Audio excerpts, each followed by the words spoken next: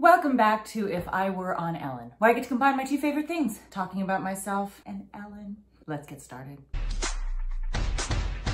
So today I want to talk about something that is at the forefront of things happening in my life during this lockdown. I've been taking care of myself and trying to groom and do what I can to stay presentable. However, Vince, on the other hand, has not. I mean, he has completely let himself go. And when I say complete, I mean from head to toe. There is no grooming happening at all. So I had I had to take things into my own hands because it was it was getting out of hand. And so I was very proud of myself. I found the weed whacker. This takes care of all the little ear hairs and the nose hairs and all those little stray guys that you uh, you know that you can find. There's lots of them on him. There's a lot. This is gonna take care of it. Also, I found something that will bring a smile and a little bit of joy to all of you today. Something called the Lawnmower 3.0. This is a heavy duty clipper situation. I found this kit your balls will thank you. When I said he'd gotten out of hand, I meant everywhere. Body, the,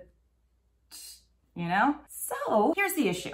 I have to get him to let me do this. To, to manscape Vince is not going to be an easy task because he is going to fight back. In the end, much like my dogs when they go to the groomers don't like it, but then when they're done, they're so happy. They're like so, so happy. So I think he'll be so, so happy. It's time for me to go buy a six pack of beer and then uh, see how we can progress from there.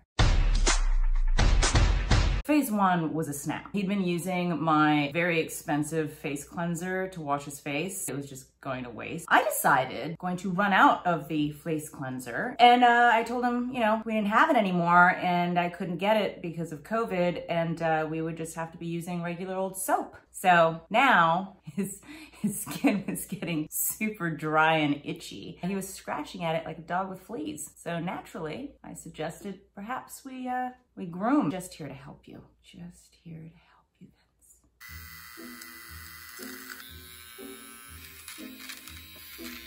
Whee! Little weeds. Bye-bye. Oh.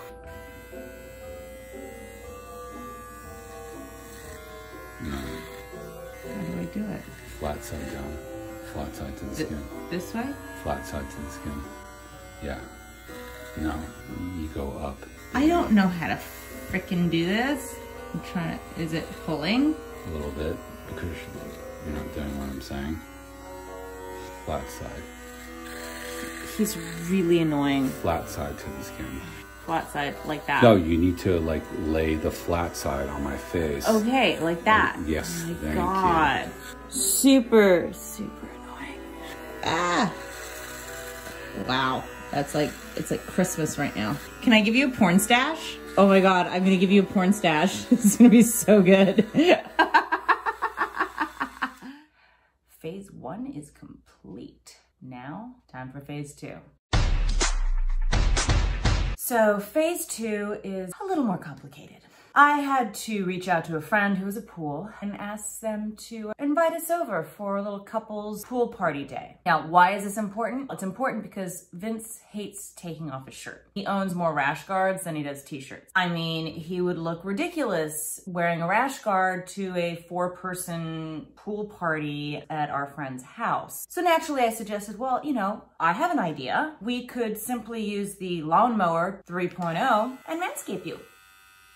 He agreed. It all takes a little gentle massaging, manipulation. Let's let's be honest, manipulative. It worked. I got to manscape him.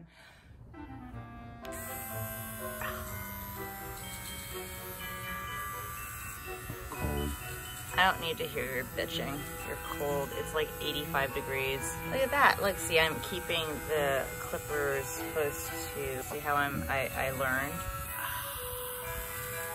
I mean, honey, you're you're not in prison. It's, What do you want me to do? Okay, Tell okay, me. Like, okay, just- wow, I'm not. I'm not in prison. Is not a direction. Like, what, what do you want me to do? Wow, he's he's very difficult. Phase three is not going to be so easy. I don't think Vince is going to let me shave his balls. Desperate times call for desperate measures. So phase three, I definitely had my work cut out for me. I made dinner, buttered them up, put on the lingerie, couple martinis. Now, mission accomplished. He is fast asleep. So it is time for me to get to work. Let's go shave some balls.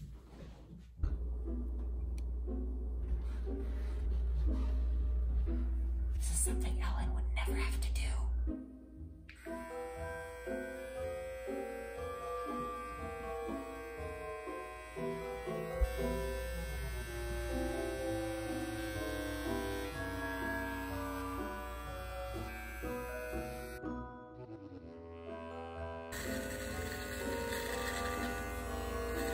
flawless. At